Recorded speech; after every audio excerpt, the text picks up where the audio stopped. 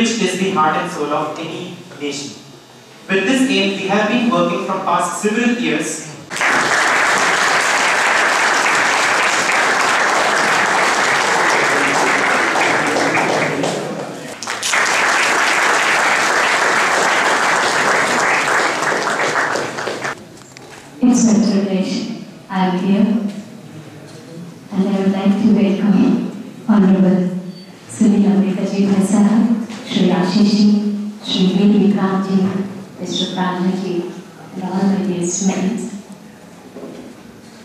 आज यहाँ पर आने के पहले ऐसा लग रहा था कि हम यहाँ पर पहुँच ही नहीं पाएँगे। और जैसे ही हमने सोचा कि एक गाड़ी मिस हो गया और दूसरी गाड़ी से आएँगे, वो गाड़ी भी पता चलता है तो चार पाँच घंटा लेट है, जो कि मुझे जबलपुर और रात के दस बजे पहुँचा था और शायद आप सब लोग अपने अपने घर को चले जाते। और वीर विक्रांत जी ने जिस प्रकार उनको जिस सम्मान से यहाँ पर बुलाया, शायद मैं यहाँ पर पहुँच नहीं पाती। Everybody can understand Hindi, no? So I want to give my lecture on Hindi today. Okay? फिर हमारे साथ ही जो लोग होते हैं बहुत बड़े साइंटिस्ट हैं जिनको अभी नेशनल लेवल पर बेस्ट साइंटिस्ट अवार्ड भी मिलता है और हमारे साथ के दो तीन वॉलंटियर्स होते हैं और हमने कहा कि हमें कैसे भी वहाँ पर जाना है देखते क्या होता है इतना हमारा कहना होता है और साथ ही लोग कहते हैं अरे कुछ नहीं चार घंटे में आपको जबलपुर पहुँचा देंगे और उतने में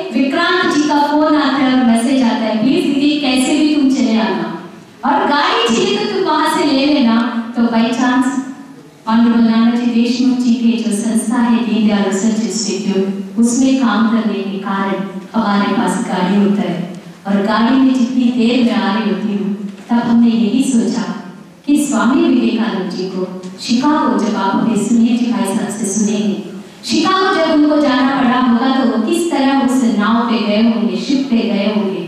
उनके पास तो ना पैसा रहा होगा, उनके पास ना खाने पीने का कोई सामान जाकर रहा होगा, ना उनके पास ऐसे कपड़े रहे हैं कि वहाँ जाकर वो अच्छे गर्म कपड़े हम लोग के जैसे पहन के वो घूम सके एक ही बात सच में मन में आता है और हम चारों कार्यकर्ताओं ने यह सोचा है, किसी भी प्रकार जबलपुर अपने को हम लोग को वहाँ पर होना है। और प्रभु की इच्छा ऐसी होती है। हम लोग आ तो गए, लेकिन मेरे कारण ये कार्यक्रम लेट हुआ है। इसीलिए आप सब बच्चों से भी और सुनील जी भाई साहब, एवं ऑर्गेनाइजिंग कमेटी के सभी से मैं माफ़ी चाहती हूँ। और हम आज यहाँ पर आप लोगों को सिर्फ़ सोशल लीडरशिप के बारे में, स्वामी विवेकानंद जी ने जो भी सोचा था आज थिंक इंडिया को इस तरह के बड़े बड़े एजुकेशनल इंस्टीट्यूट्स में आज क्यों सोचना पड़ रहा है सोशल लीडरशिप क्योंकि जहाँ पे भी भारत देश में हम लोग जाकर कहीं पे भी यूथ के बीच में खड़े होते हो या बड़े बड़े अधिकारियों के बीच में खड़े होते हो या जो आप लोगों को पढ़ाने वाले प्रोफेसर्स लेक्चरर्स या बिजनेसमैन किसी के बीच में खड़े होते तो हर आदमी लीडर तो बनना चाहता है पर वो लोग सोशल लीडर्स नहीं बनना चाहते सोशल लीडरशिप के तरफ़ हम लोग जाना नहीं चाहते हर सर हर लोग हर व्यक्ति अपने पर्सनल मोटिव के साथ है जो कि भारत देश में बात कही गई है अपनी चाहे वेद हो पुराण हो जितनी भी गीता की बात हो तो अपने में लिख लेते सर्वे भवन्तु सुखिनः सर्वे सन्तु निरामया सर्वे भद्राणि पश्यन्तु मा कश्चित् दुःखभाग् भवेत् सर्वभूतहिते रतन की बातें हो मातृवत् परदारेषु परद्रव्येषु लोष्टवत् आत्मवत् सर्वभूतेषु या वसुधैव कुटुम्बकम की बातें हो जितनी भी बातें हम लोगों को बताया शायद हम लोग धीरे धीरे उन बातों को क्योंकि हम लोग को ना परिवार से पता चल रहा वो बातें, ना स्कूल्स में पता चल रहा है, ना कोई ऐसे बड़े बड़े इंस्टीट्यूट्स हम लोग को बताते सिर्फ़ हम लोग को यही बताते एजुकेशन इसीलिए है कि हम लोग बहुत बड़ा अधिकारी बने और खूब सारा पैसे कमाए। लेकिन आज रेलेवेंट है ये बात स्वामी विवेकानंद के साथ सती के उपलक्ष्य देश में, विदेशों में, आपको सुनकर ताजुब होगा, अमेरिका हो, जापान हो, जहाँ पे भी अपनी भारतवासी रहे हैं अलग अलग प्रकार के काम करके स्वामी जी को अपना श्रद्धांजलि अर्पित की तो थिंक इंडिया को मैं बहुत ज़्यादा धन्यवाद देती हूँ। इस तरह के जो इंस्टीट्यूट है उसमें सोशल लीडरशिप और स्वामी विवेकानंद जी ने क्या सोचा? तो सोशल लीडरशिप का सिर्फ़ एक डेफिनेशन मैं आपको बताकर फिर अपनी बात में आगे कंटिन्यू करती हूँ। सोशल लीडरशिप का जो बात हम लोग सुनते आ रहे कहीं पे भी पढ़ेंगे तो यही लोग बताएँगे social leadership means to devote one's life and talents to improving society, regardless of social standing, wealth or profession. यही है सोशल लीडरशिप स्वामी विवेकानंद जी की जीवन शैली देखते हम लोग चुटपन में वो छोटा सा नरेंद्र था वो भी अभी हम लोगों ने सुना है उनका जन्म के समय उनकी माँ ने भले अपना उस टाइम पे अंग्रेज़ लोग अपने देश में थे लेकिन उनकी माँ ने भगवान की प्रार्थना करके, शिव जी की प्रार्थना करके नरेंद्र को जन्म देते हैं। तो लीडरशिप की क्वालिटी से एक दिन में नहीं आता है। माँ की जब पेट में होता है बच्चा, जिस तरह वो माँ सोचती है, उस समय से उसके अंदर ऐसे ऐसे संस्कार आते हैं। फिर वो लीडर बनता है, चाहे वो सोशल लीडर बने, चाहे वो पॉलिटिकल लीडर बने, चाहे देश के लिए कुछ करे, वो सब अपना बल खाता है। तो उसी समय उनकी माँ ने अपनी पूजा पाठ के साथ कारण ऐसा एक छोटा सा बच्चा नरेंद्र का आपको पता है, हम लोग यदि डेढ़ सौ वर्ष पूर्ण होने के बाद यदि स्वामी जी को याद कर रहे तो इसका मतलब है कि उनका बचपन की ऐसी घटनाएँ होंगी, जो वो सोशल लीडर के रूप में आज भी और आगे भी हम लोग रहे चाहे ना रहे, लेकिन स्वामी जी का नाम एक यूथ लीडर के रूप में सब लोग लेने वाले। कारण यही है, छुटपन में उनको ये नहीं लगता था, जितनी भी चीज़ें उनको मिले, चाहे उनके कपड़ा हो उनका खान पीन का सामान हो वो ये नहीं सोचते थे मैं छुपा के रखूँ और मैं खा लूँ उस टाइम पे उन्होंने छुटपन में भी कोई भी मांगने के लिए घर आते थे। आप लोगों को पता है, वो वकील साहब का बेटे थे। लेकिन वो उस टाइम पे सब चीज़ें दान करना शुरू कर देते थे। और दान करते करते एक दिन ऐसा हुआ, उनकी माता पिता नाराज़ होने के बाद उनको ऊपर कमरे में बंद कर देते हैं। और बंद करने के बाद भी जिनके अंदर इस तरह के बीज उत्पन्न होते, वो कभी बंद नहीं हो सकता। चाहे आप उनको कमरों में बंद कर दीजिए, जेल में बंद कर दीजिए, या दूसरी देश भिजवा दीजिए तो वो बच्चा ऊपर रहकर नीचे भीख मांगने वाला आता है और एक डोली बनाता है, एक टोकरी लेता है रस्सी बनाता है और सामान नीचे पहुंचाता है इसी से सोशल लीडरशिप है इसके अलावा सोशल लीडरशिप हम लोग कोई बुक्स में नहीं पढ़ सकते लेकिन स्वामी जी हो कोई भी बड़े लोग जितने भी महानुभाव हुए उनके जीवन से सीखने के लिए अपने को यही मिलता है दूसरी बात हम लोग जब भी कोई बताया उस तरफ़ नहीं जाना है उधर भूत बहुत लगते हैं तो लीडर्स कुछ ऐसे लीडर्स होते हैं कि किसी ने कुछ बोला तो उसको अभिनव प्रयोग इनोवेटिव एक्सपेरिमेंट्स करने की आदत होती है और साइंटिफिकली उसको प्रूव करने के लिए भी हर समय लीडर को तत्पर रहना चाहिए ये एक क्वालिटी होता है जो लीडरशिप में रहने वाला आदमी को तो कुछ लोगों ने अमरूद वो रोज खाते थे तो उनको मना कर दिया और मना करके बोला उस पेड़ के ऊपर बहुत बड़ा भूत बैठता है, तुम नहीं जाना। लेकिन नरेंद्र को लगता है, ऐसा भूत होते हैं क्या? फिर जाते हैं, उस पेड़ के ऊपर उसकी माँ को बताते हैं। फिर माँ समझाती है पेड़ के ऊपर बैठते हैं पेड़ के ऊपर बैठकर रात भर वहाँ पर चिंतन करते कोई भूत वहाँ आता नहीं फिर वो समझ जाते हैं लोग उन्हें बनाते हैं तो सोशल लीडर तभी बन पाए छुपन में उनकी माँ ने बताया कि कोई भूत ऊत होता नहीं इतने भर से वो माना नहीं खुद को आँखों के सामने उसको प्रत्यक्ष दर्शन जब तक नहीं करना चाहिए तब तक अपने को मानना नहीं चाहिए नहीं तो वो लीडर नहीं बन सकता वो सिर्फ़ एक्टर बन सकता है फिल्मी एक्टर लेकिन जब तक कि अपने दिल को कोई बात न लगे तब तक वो कोई भी लीडर नहीं बन सकता और ऐसे ही नरेंद्र कुछ दिन के बाद जब वो बड़े हो जाते हैं भगवान का दर्शन का तो आपने सुना ही है फिर उसके बाद एक बार वो केतरी के महाराजा के यहाँ पर जाते हैं वो तो आप लोग जैसे आई से समझो। ऐसे ही रुड़की के भी हो सकते हैं, ऐसे कहीं के भी बड़े बड़े बच्चे जो M B S M B B S करते हैं इंजीनियरिंग करते हैं, वो कहते हैं हमें क्या करना स्वामी विवेकानंद जी का? हमें क्या करना महात्मा गांधी जी के जन्मदिन से? हमें क्या करना पंडित दीनदयाल उपाध्याय जी से? लोग कह सकते हैं। ऐसे धीरे धीरे कुछ दिन के बाद यूथ कहता है, हमें क्या करना अपने माता पिता से? जाए रहे वो लोग ओल्ड एज होम्स लेकिन ऐसा स्वामी जी का लीडरशिप चुपन से नहीं था। जब उन्होंने एक बार गलती करते हैं तो तुरंत सुधारने की आदत सोशल लीडर्स के अंदर होनी चाहिए। तो वो जब राजा के यहाँ जाते हैं नर्तकी वहाँ पर डांसर पहुँचती है डांस करने के लिए तो स्वामी जी भी है तो मानव ह्यूमन भी हर समय गलतियाँ तो करता ही है। तो उन्होंने सोचा, अरे, ये डांसर के पास मेरा कौन सा काम है? वो तो नाचेगी, गाएगी, चली जाएँगी। लेकिन वो नर्तकी को पहले से ही पता होता है, ऐसे कोई महान विभूति आने वाले हैं। स्वामी जी कोई आने वाले, उनके सामने मैं डांस करने वाली हूँ, लेकिन विवेकानंद जी को वहाँ नहीं पाती। विवेकानंद जी कमरे में सोने जाते हैं। तब वो गाती है एक भजन कि मेरे क्या गलती है, मैं तो आपके लिए यहाँ पर आई ऐसे गाना गाने पर। और क्या मैं इतनी बुरी हूँ? तो एक लीडर का मन हर समय संवेदनशीलता से भरा हुआ होना चाहिए।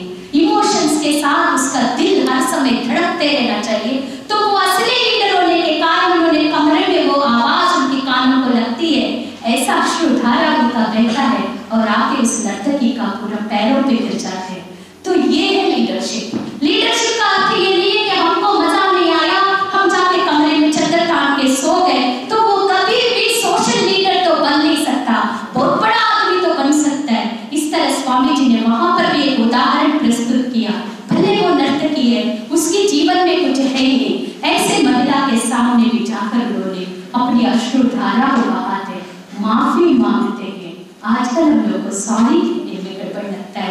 माफ़ी और पैर छूना तो बहुत बड़ी बात है इससे कोई अच्छा लीडर नहीं बनता लीडर का अर्थ दो प्रकार से हो सकता है आप सोचोगे नेता का लेकिन लीडर साफ़ सख्त ज़रूरत है अपने देश को यदि आपका आज विक्रांत जी यहाँ नहीं होते यहाँ पर आशीष जी नहीं होते समझो इस तरह के प्रोग्राम्स नहीं हो सकता लेकिन आज यूथ के अंदर एक सबसे बड़ी कमी क्या आ रही है कोई भी काम है यदि तो हम लोग उससे पीछे हो जाते हैं अरे हमें ना बता देते हैं कोई काम तो हम लोग यही चाहते हैं हम लोगों को कोई बड़े भाषण देकर आप लोगों को कुछ ऐसे गड़बड़ रास्ता बताने का इरादा नहीं है हम सब लोग ये चाहते हैं सुनील जी भाई साहब खासकर देश भर में विदेशों में इसीलिए काम कर रहे हैं कि यू ये कहे, अरे, ये काम हमारे लिए तो चुटकी भर का काम है। चाहे वो पहाड़ क्यों ना हो हम लोग इसके लिए तैयार हो जाए हम हर एक काम कर सकते हैं हमको कोई काम से डर नहीं है हम डरते नहीं है हम लीडर है ये है सोशल लीडरशिप का सबसे बड़ा क्वालिटी जो डर गया वो मर गया हम लोग सूखते आते हैं लेकिन अपने को डरना नहीं चाहिए दुनिया में यदि किसी से डरना है तो एक आदमी एक आदमी से डरे बाकी कोई पशु अपने को नहीं खा सकता बाकी कोई भूत अपने को नहीं खा सकता इसके लिए प्रत्यक्ष उदाहरण है स्वामी विवेकानंद जी उसके बाद विवेकानंद जी का और चीज़ जानते जब उन्होंने मूर्ति पूजा का हम सब लोगों को पता है, हम एक छोटे छोटे विषय जी विवेकानंद जी का लेने का प्रयास कर। रहे हैं मूर्ति पूजा हो, चाहे कोई भी, आज भी कोई भी आर्गुमेंट होता है तो अपने पास तर्क देने के लिए, उसके साथ बात करने के लिए हमारे पास इतना रीजनिंग पार नहीं होता। सोशल लीडर को हर समय उसकी इनोवेटिवनेस के साथ एक रीजनिंग कैपेसिटी बहुत ज़्यादा होना चाहिए नहीं तो वो सोसाइटी में चिंता नहीं रह सकता क्योंकि इतने सारे जाति धर्म भेद भाव करप्शन न जाने कितनी सारी समस्याएँ हैं एक अच्छा आदमी को लोग फंसा देते हैं वो वहाँ इर्द गिर्द ही घूमता रह जाएगा वो कभी भी स्वामी विवेकानंद जी जैसा ऊपर नहीं जा सकता इसीलिए स्वामी जी के अंदर रीजनिंग कैपेसिटी हर चीज़ का तुरंत तर्क देने का इतना अच्छा था तो उन्होंने एक जगह जाते हैं मूर्ति पूजा की बात चल रही होती है तो महाराज जी के पास महाराज जी कहते हम तो मूर्ति पूजा नहीं मानते। लेकिन स्वामी जी को अपनी बात मनवाते आता था तो वहाँ पर राजा के पिताजी का फ़ोटो टंगा होता है तो बगल में जो सेवक होते हैं, उनको कहते हैं, वो फ़ोटो निकालो। वो महाराज जी के पिताजी का, बड़े महाराज का फ़ोटो निकालते। लोग सोचते, पता नहीं, स्वामी जी इनको प्रणाम करेंगे, क्या करेंगे? तो तुरंत स्वामी विवेकानंद जी कहते हैं, वो जो भैया वहाँ पर उनके साथ सेवक रहते हैं, इसके ऊपर थूक दो। और पैरों से कुचल। दो तो तर्क भी ऐसा देना चाहिए। सामने वाला यदि शेर है तो हम लोग सवा शेर हो। नहीं तो अपनी तर्क का कोई मतलब नहीं निकलता। फिर कोई भी सोसाइटी में लीडर के नाते खड़े नहीं हो सकता। तो वो महाराज ने इनको बोला, ये महाराज के पिताजी की फ़ोटो पे बोल रहे हैं, तुम थूक दो और पैरों से कुचल दो इसको। वो बोलता, अरे साहब, इसको कैसे हम कुचल सकते हैं इस पे कैसे हम थूक सकते हैं तब विवेकानंद जी कहते हैं अरे भाई ये तो कागज़ है ये तो कांच है थूक दो तोड़ दो इसको गाली दो तुम मार दो नहीं करा तो राजा को समझ में आता है इस तरह यूथ को यदि अपने सामने कोई प्रॉब्लम आ गया आपकी बात कोई मान नहीं रहा है किसी भी प्रकार अपन अपनी अच्छी बातों को मनवाने की ज़रूरत है छोटे बच्चे तो टॉफी चाहिए चॉकलेट चाहिए तो रो रो के अपनी माता पिता से मनवा लेते हैं ये सोशल लीडरशिप नहीं है एक अज्ञान व्यक्ति गाड़ियों को रोक कर पैसा चाहिए तो लूटता है ये सोशल लीडरशिप नहीं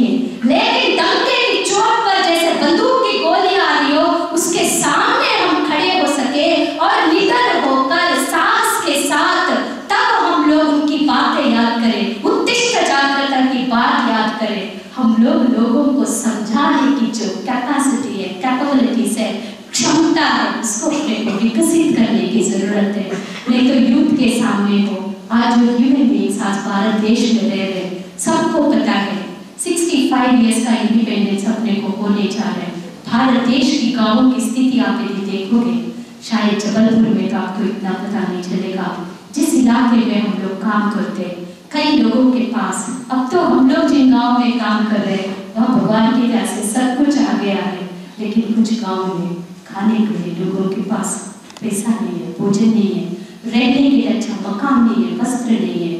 इसीलिए स्वामी विवेकानंद जी का आपको एक उदाहरण हम देना चाहते हैं, क्योंकि भगवान की और सुनिए जी भाई साहब के आशीर्वाद से मानव नाना जी के आशीर्वाद से तीन बार हमको भी अमेरिका जाने को मौका मिला। जब हम फ़र्स्ट टाइम शिकागो गए थे आपको कुछ चीज़ें जब तक कि खुद अपन एक्सपीरियंस नहीं लेते हैं, उसका आनंद नहीं आता है। स्वामी विवेकानंद जी का हम लोग अभी सुन रहे थे, शिकागो में उनके भाषण के बारे में। तो हमको बड़ी इच्छा थी। नौ दिन की इस पे हमने सोचा, एक दिन तो हमको कम से कम जहाँ स्वामी जी ने अपना बोधन दिया, जहाँ पे कल घड़ियों से लोग खड़े होकर इतनी देर तक ताली बजाए। वहाँ वो स्पंदन, वो पूरा वहाँ पर आज भी वहाँ पर होगा के हम गए। भगवान की बड़ी ऐसी अनुकंपा थी हमारे ऊपर। हम आपको बता नहीं सकते। उस जगह पर हम जैसे ही जाते हैं, अपने अंदर एक भारत, देश की मिट्टी की जो खुशबू है, वह देखने को मिलता है। और वो साधारण सा व्यक्ति, एक गमछा पेट के भगवा कलर का, वहाँ खड़े होकर जिस प्रकार वो भाषण दिए होंगे लोग उनकी तारीफ़ कितना किए होंगे आप उस स्थान पर जाएँगे तो आप इमेजिन कर सकते हैं आप एक्सपीरियंस कर सकते हो उसको दिल में रखकर सालों साल हम लोग अच्छा काम कर सकते तो उन्होंने यह भारत देश में देखा कि लोग इतने गरीब है, उनके पास खाने पीने को नहीं है, लेकिन किसी कारणवश वो शिकागो पहुँच गए, अच्छे बुलबुल गद्दे मिल गए। एक बढ़िया अंग्रेज़ के घर पे उनको रहने को मिल गया। हम होते तो शायद वो बुलबुल गद्दे में सोते। लेकिन स्वामी विवेकानंद जी को इतना सुंदर भवन मिलता है, बढ़िया मोटे मोटे गद्दे मिलते हैं लीडर है। को किस तरह होना चाहिए। स्वामी जी ने अपने जीवन में एक एक परिचय दिया है।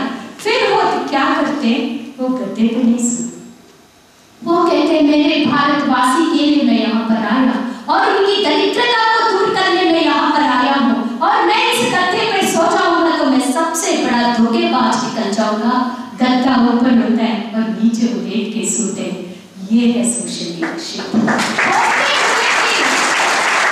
हमारे सामने सब कुछ है लेकिन ये हमारा नहीं है ये देश का है देश के लोगों का है देश के बच्चों का है जिस दिन हम लोग समझे यही सोशल लीडरशिप है इसके अलावा स्वामी विवेकानंद जी का में कुछ था ही नहीं दूसरी चीज़ आपको है, जैसे ही उन्होंने इतना देश, दुनिया, कितना कंट्रीज़ घूमे अभी सुना, और उनको वीज़ा की ज़रूरत ही नहीं पड़ी। आज लोग हम लोग सच में डरते हैं। अमेरिका जाना है यानी मुझे कहते, अरे, खूब तेल लगा लेना और बुद्धू बन जाना, वहाँ ये बता देना, वह वो बता देना। खूब सारे लोग हमको सिखा पढ़ा कर भेजते हैं वीज़ा के लिए। लेकिन स्वामी जी का तो हम लोग देख चुके इसको कहते फेस वैल्यू तो हम सब यूथ के अंदर भी अपना चेहरे का कुछ मूल्य होना चाहिए। अपनी नैतिकता, अपनी चारित्र का, अपनी चेहरे पर चमक होना चाहिए। तो सामने चाहे वो वीज़ा देने वाला हो, चाहे अपने को पासपोर्ट बनाने वाले हो, चाहे पुलिस वाले भी आ जाए, वो भी हम लोग को देख के डर जाते तो इस तरह का व्यक्तित्व स्वामी विवेकानंद जी का और स्वामी विवेकानंद जी हर एक कंट्री घूम के आने के बाद तो करोड़पति भी हो सकते थे। बहुत लोगों ने उनको बहुत सारे तोहफे दिए लेकिन उन्होंने वो सब पैसा वो सब तोहफे उन्होंने अपने लिए नहीं उपयोग किया। उन्होंने रामकृष्ण मिशन का स्थापना किया है और यही है एक कोई लीडर होता है जब तक उसका उम्र चले जब तक उसकी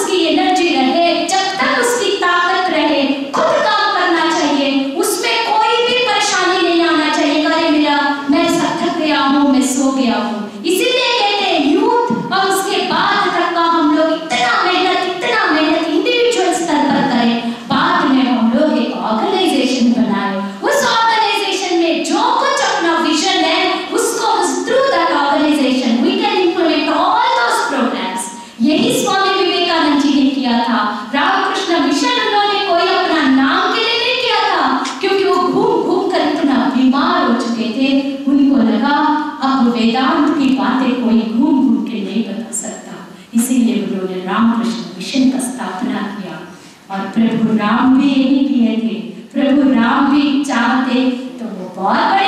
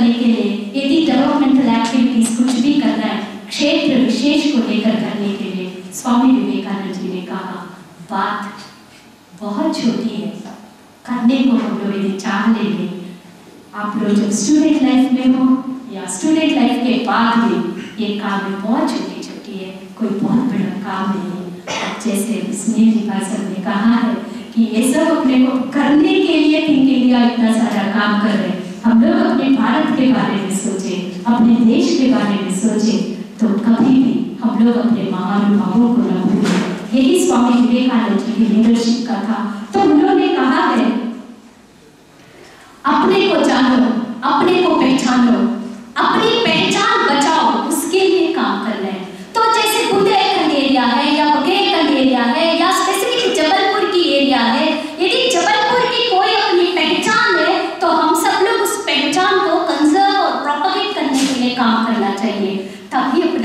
का विकास हो सकता है, यही एक सोशल लीडर कर सकता है।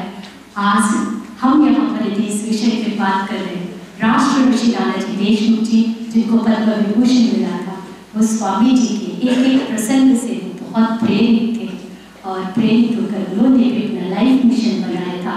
I do not stand for myself I for my kith and kin my kith and kin are those who are and downtrodden.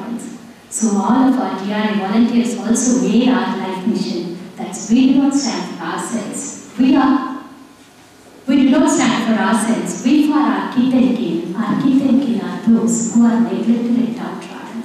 जिस समय हम लोग अपनी लाइफ का मिशन बनाएँगे तभी कोई भी काम आगे होता है तो जिस प्रकार स्वामी विवेकानंद जी ने अपना लाइफ का मिशन बनाया था कि भारत को विश्व जाने और विश्व के अंदर भारत की अपनी पहचान बने इसी इसमें हम सब लोग भी। खेल के इसमें भी उन्होंने कहा, लीडर कोई भी होगा, उसको हर एक एंगल पे सोचना पड़ता है। चाहे वो एग्रीकल्चर हो, चाहे वो हॉर्टिकल्चर हो, चाहे वो जिस भी फ़ील्ड एजुकेशन हो एंटरप्रेन्योरशिप हो हेल्थ हो, सब में तो इसी में उन्होंने कहा था कि भैया, मंदिरों में बैठकर भगवान को पूजने से अच्छा हम सब लोग फुटबॉल के कोर्ट पे फुटबॉल खेलें हम सोचते थे पहले जब ये पढ़ी फुटबॉल में क्या लिखा है इसमें क्या देश का विकास होगा लेकिन जब हम इस बार स्वामी विवेकानंद सार्थ सती समारोह के उपलक्ष्य में वॉलीबॉल, कबड्डी के कॉम्पिटिशन्स जब फाइव हंड्रेड विलेजेस में कराए थे, तब हमने देखा वास्तव में ये सही सामाजिक समरसता का एक बहुत बड़ा खेल होता है। क्योंकि कबड्डी में लोग जाते हैं किसी का भी पैर कोई भी पकड़ लेता है बड़े छोटे ऊँचे नीचे भेद भाव कुछ नहीं होता सोशल लीडरशिप ऐसा विजन रखते हैं उन विजन को पाने के लिए कई साल लगते हैं उसके वॉलंटियर्स की ज़रूरत होती है। तो स्वामी जी कहते थे डेढ़ सौ लोग चाहिए। यहाँ तो डेढ़ सौ से ऊपर है और दिन इंडिया के माध्यम से हम लोग को लगता है। स्वामी विवेकानंद जी का हर एक सपना पूरा होगा और सपना पूरा करने में हमारे जैसे लोग, आपके जैसे लोग और मंच पर विराजमान सभी अतिथि सुनील जी भाई साहब जैसे। हम सब लोग एक सामूहिक प्रयत्न से अपने देश में एक अलग अपनी पहचान बनाएँगे स्वामी विवेकानंद सार्धशती समारोह के उपलक्ष्य में चित्रकूट में हम लोग ने बहुत अलग अलग आयोजन किए थे क्योंकि ये आयोजनों से ही लोगों के अंदर खुद तो लीडर बनना आसान है खुद काम करना बहुत आसान है लेकिन उनके जैसे लीडर्स को तैयार करना it's a very tough job इसीलिए चित्रकूट में हम लोगों ने ऑटो चालकों का एक बहुत बड़ा ऑटो शोभा यात्रा 400 ऑटोस का करते हैं तो ऑटो चालक आज अपने आप को सोचता है मैं चित्रकूट का एक पार्ट हूँ सुंदर चित्रकूट सुरक्षित चित्रकूट उनको कोई प्यार से नहीं बोलता तो उनसे नाविकों से छोटे छोटे बच्चों का बाल विस्तार है लोगों से भी हम लोग यही निवेदन करते you are a leader you are becoming a leader make other also leader यही हम लोगों का इच्छा है। आप सब लोग अच्छा काम करोगे। आप अच्छा पढ़ाई करोगे। पढ़ाई करते समय दूसरों की आँख में यदि आँसू आता है तो उसका कारण यहाँ बैठे हुए डेढ़ सौ भैया बहन ना हो। हम लोग दूसरों को खुशी नहीं दे सकते तो कम से कम आँसू न दे। लेकिन आप सब लोग